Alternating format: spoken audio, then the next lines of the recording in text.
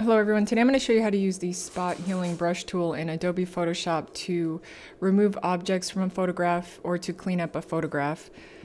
So as you can see, here's an example we're going to be using today, the before and after. Uh, you can use whatever photograph you want to work on this project. So I already have my photograph opened up in Photoshop.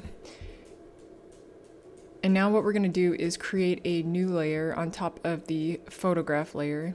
And you can do that just by pressing the icon here. And I'm just going to double click to rename this spot healing brush.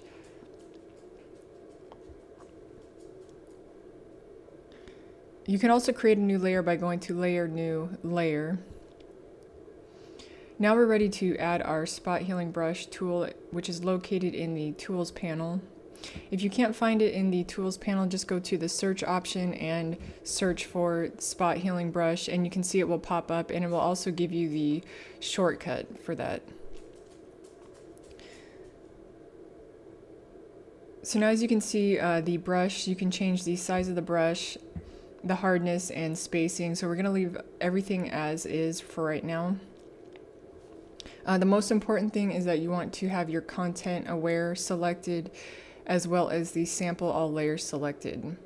Since we created a separate layer for the spot healing brush layer, we want to make sure that that sample all layers is selected so that it, Photoshop still analyzes the photograph that's below the spot healing brush layer.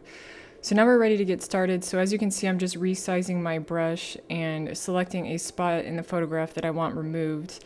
And all you do is just click on that spot and you can see that Photoshop will fill in the space based on whatever it's surrounded by.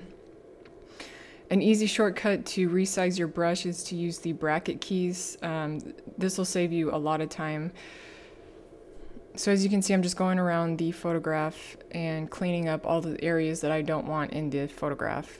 And the reason we create a separate layer to do this spot healing is so that the original photograph is not affected.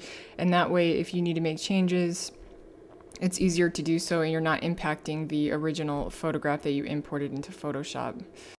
And that's it for this quick tip. Um, the spot healing brush tool is a great and easy tool that you can use to clean up your photographs and it's pretty easy to use. Um, thank you so much for watching. If you want to check out some of my artwork, please visit digitalarteffects.com and don't forget to subscribe.